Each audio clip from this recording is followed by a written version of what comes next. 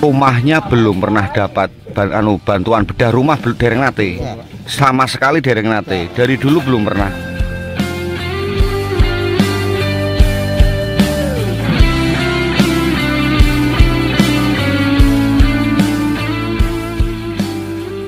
Mbah Tarmuji rumahnya belum pernah dibongkar, dereng nate dibongkar. Dereng nate dibongkar. Dereng nate nembe niki. Kau janji padaku Bila akhirnya Ini masih apa ini namanya? Siapa? Siapa nih Simbah?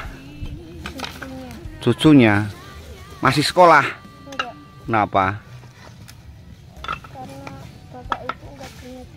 Nggak punya biaya. Percuma saja kau janji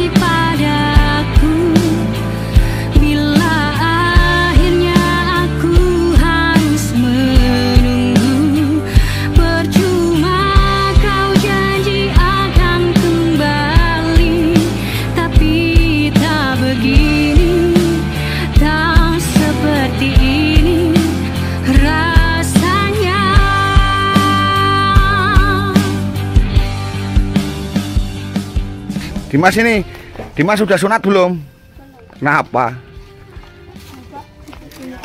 Bapak nggak punya uang.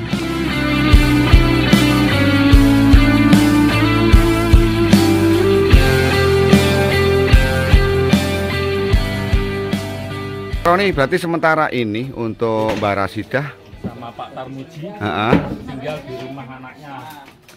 tinggal di rumah anaknya. Masalah ya? Bila akhirnya aku harus menunggu Percuma kau Ini apanya Dimas? Adiknya Dim. Ini dua-dua adiknya. Sekolah enggak? Ini tadinya sekolah, Tadinya sekolah, terus tapi sekarang baru sekolah masuk seminggu doang. terus kenapa itu sekolah? Ya, biaya. Biaya. Ini juga nggak sekolah ini. Ini aslinya PAUD, Pak, cuman udah mundur. Akhirnya Nggak nggak. bisa bayar. Semoga nanti cepat sekolah lagi ya. Ini Heeh. Nggak apa? Nggak karena apa? SPP belum bayar. Belum bayar SPP. Didoain mbah, nggih, sareng-sareng mbah.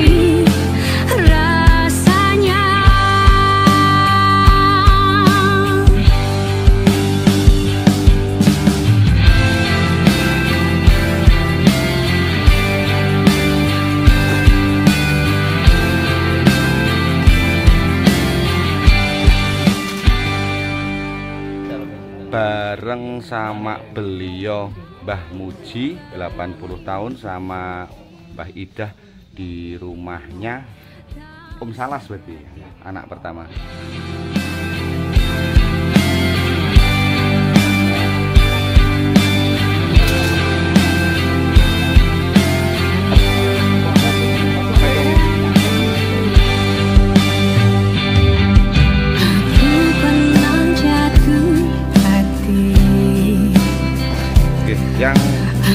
Juga Pak Roni. Pernah sakit hati Tapi tak begini Tak seperti ini Ini berarti pembongkaran inisiatif warga atau masyarakat nggih. Berarti memang sengaja direncanakan hari ini setelah beberapa kemarin diposting nggih, beberapa hari kemarin. Terus ini rencana eh, donasinya dari mana aja nih Pak nanti Pak? Ya dari antar masyarakat ke masyarakat. Jadi iuran warga ya semampunya gitu ya. Nanti disalurkan langsung ke Pak Tar, Pak Tarmuji nggih. Kalau beliau ibunya, Ibunya berarti istri dari Oke. Terima kasih juga untuk Polsek Badar Pak Roni sudah bertugas ikut membantu pagi hari ini di lokasi Desa Simpar Pak gini. Siap. Terima kasih Pak RT Pak Roni.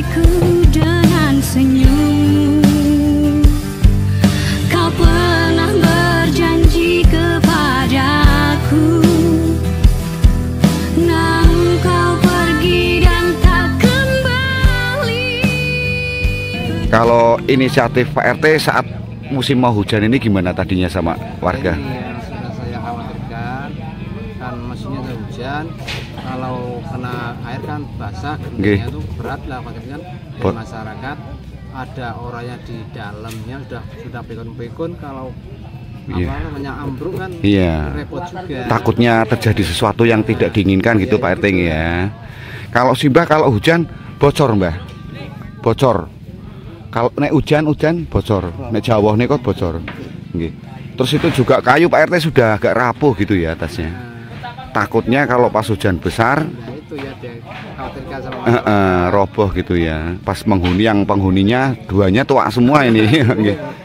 Mbah biar dibantu warga, biar dirubah lah minimal layak untuk dihuni, mangke biar cepet jadi. Ngoten Mbah nggih. Pak RT, terima kasih Pak RT. Bila Berasnya aman, Mbak. akhirnya aku harus Berasnya ada di dalam lemari. Percuma kau janji akan setia Nah gitu. Sip. Bila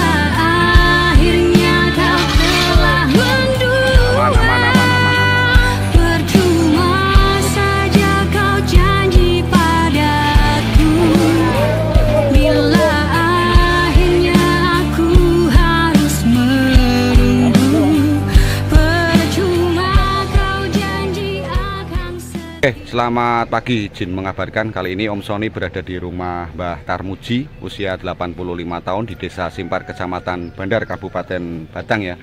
Yang mana pada hari ini dilakukan pembongkaran rumah oleh warga karena di musim penghujan takutnya itu ketika hujan rumah tidak layak ini roboh dan menimpa kedua kakek nenek yang berada di dalam rumahnya ya. Jadi inisiatif pada hari ini dilakukan pembongkaran rumah Mbah Tarmuji Eh, juga terlihat rumah yang tidak layak huni terlihat juga untuk cucunya yang tiga itu tidak sekolah semua.